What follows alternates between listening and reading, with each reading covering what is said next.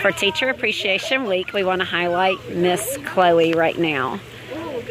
Miss Chloe has been working with us. I think this is her fifth summer altogether. She's also a student at Clayton State University.